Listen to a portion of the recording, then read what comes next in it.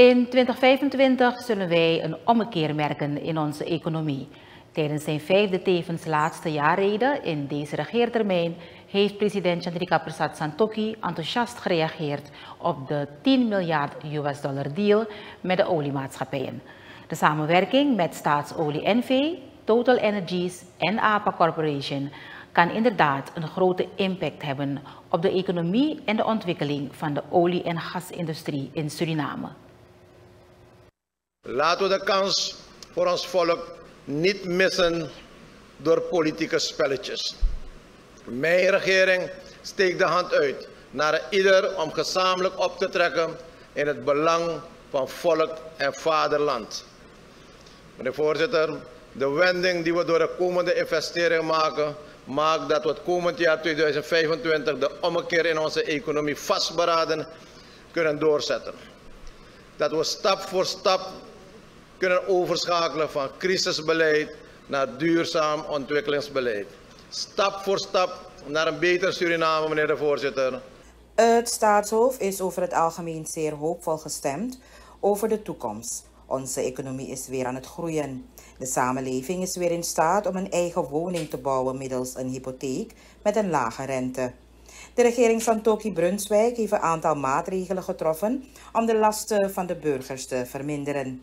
De 20% loonsverhoging zal ook de ambtenaren ten goede komen, gezien de stabiliteit van de wisselkoers en de mogelijke verlaging van de energietarieven.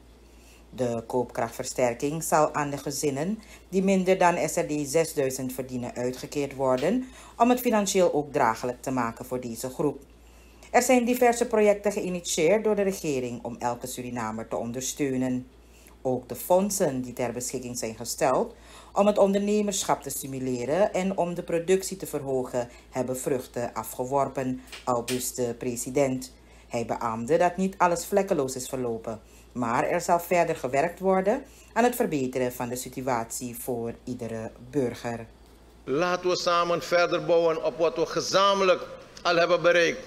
Wat men ook zegt en vindt, meneer de voorzitter.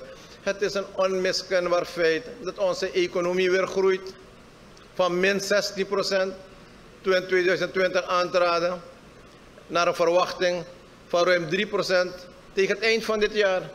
En dat zeg ik niet, maar dat geven het IMF en de gerenormeerde instituten aan. De president erkende in de jaarreden ook de bereidwilligheid van de samenleving om offers te brengen. De rijkdom uit onze natuurlijke hulpbronnen moet eerlijk verdeeld worden. Niemand zal achtergelaten worden, beloofde Santoki.